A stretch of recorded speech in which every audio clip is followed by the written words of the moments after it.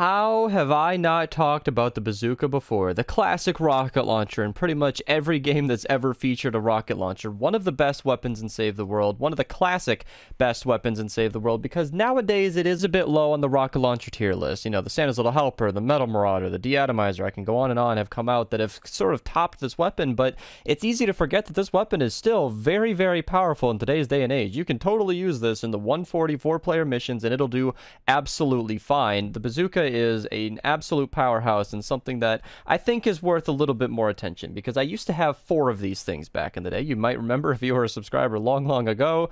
I used to have a fire, water, nature, and energy variant of this bazooka, and it was awesome. They were very, very powerful and they did the trick. I used to run it without coconuts because they hadn't come to the game yet, and even Blast from the Past wasn't a thing. I used to run my main primary weapon and then like a sniper for long range and a, a bazooka in the middle because, you know, the Baron couldn't give you the movement speed. It was a simpler time back then, and the bazooka was was used as a secondary. That's why you see a lot of my gameplay here. I'm actually using the Blastertron Mini to clean up a lot of individual targets because that's how you should be using these weapons. Launchers are very expensive. As of recording this gameplay, they take three rockets per shot, which I think is abhorrent and something that might change in the future. It's extremely expensive to operate these weapons, and it is mostly important to use them for group damage. Encampments, large crowds of enemies, or, you know, like storm chests or something, it is the best way to utilize a bazooka or weapons like it. So that's why I save it for those targets specifically specifically, and you can see against the Smasher here that its single target damage does kind of suffer. I, I do have to end up using my main primary because I saw how many shots it was taking, and it's just not practical to use it against one single target enemy like that. An AR or an SMG would be much better suited for that job. And then, of course, as I said, crowd clearing is where it definitely shines. Oh, and before I get too far into this video, I do want to mention that the trash cannon is identical to the bazooka in every single way. It's just that it's cheaper to craft and overall more ammo efficient. So if you don't want to spend as much on the bazooka,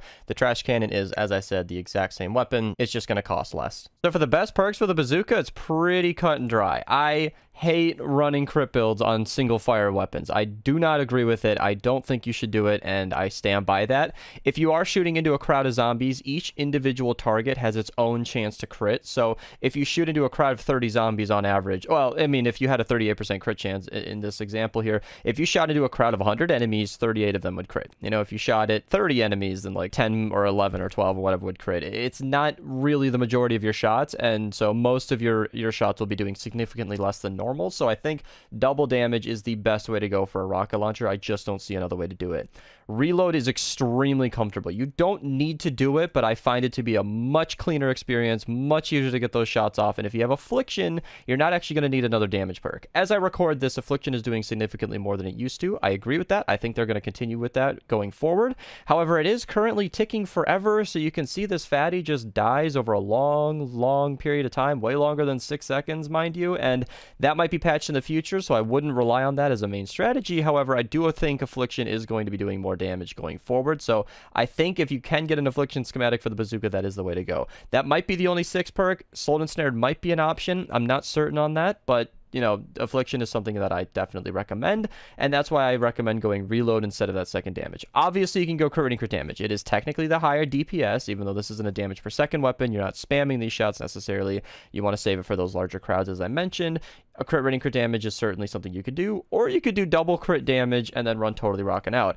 That is its own thing. I do not recommend that. This is not a primary weapon, but if you can afford it and you want to go crazy, then yeah, reload double crit damage with totally rocking out is a an insane way to go. You will almost instantly trigger that totally rocking out ability if you're using Battle Beat in your lead, and I, I didn't try that for today's gameplay, but if you want to give that a go, you go and have some fun. Damage deflected is, is kind of tricky down here. You want this to match your six perks, so if you have slowed and snared, then you want damage to slow and snared, but an all-around decent build could be damage to mist monsters and bosses.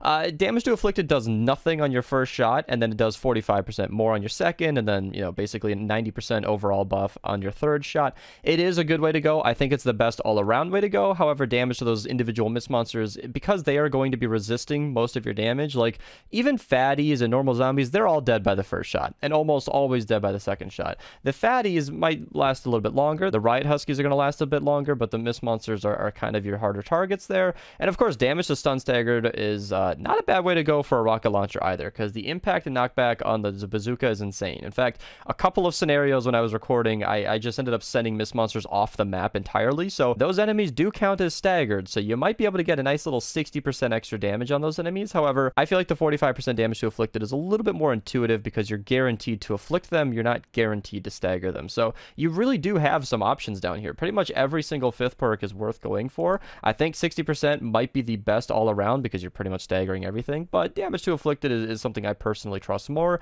so I'm going to be keeping in mind that way. As I said, I used to have one for every single element. If that's something you want to do, then energy is going to be better if you're in Twine, you're dealing with a lot of elemental enemies like I was. However, physical is certainly an okay way to go. In fact, to this day, and I do use the Santa's Little Helper in very high level missions, I still have mine spec with physical. If I can find the schematic here, you can see I actually used to have an energy one. I ended up recycling it. I put it in the book or something. I, I just didn't need a second one because physical just works. I mean, this weapon isn't the bazooka. It does a lot more damage than the bazooka, but the Little Helper, it hits so freaking hard that you don't even really need to care about that, that damage reduction from elemental zombies. However, the bazooka doesn't quite hit as hard, almost half as much damage. So if you're in Plankerton or Stonewood and this is one of the first launches you've ever gotten and this is how you found the video, then physical is certainly going to be the way you want to go for that and it will be more effective in your zones. And that also applies to early Canny before you start to see lots of elemental enemies. So yeah, the bazooka. Fantastic weapon. I mean, it's in the core llamas. You can research this weapon, so you can get it from your regular upgrade llamas. You know, use code Mista to check out if that's what you're doing. Or you could go to the collection book down to the ranged weapons in the explosive weapons section, and you can research your own schematic right here. That is a bit expensive, but if I haven't proven that it's worth it today, then I don't know what else I've done. Thank you guys so much for watching. Let me know what you think in the comments below. Did you like this weapon? Did you not like this weapon? Tell me your stories. I'm sure plenty of you guys use this in the early games, and I, I want to hear those stories. Like the video if you liked it, dislike it if you did dislike it, subscribe if you do. Thank you guys so much for watching, and uh, I hope you guys enjoyed, and uh, have a nice day.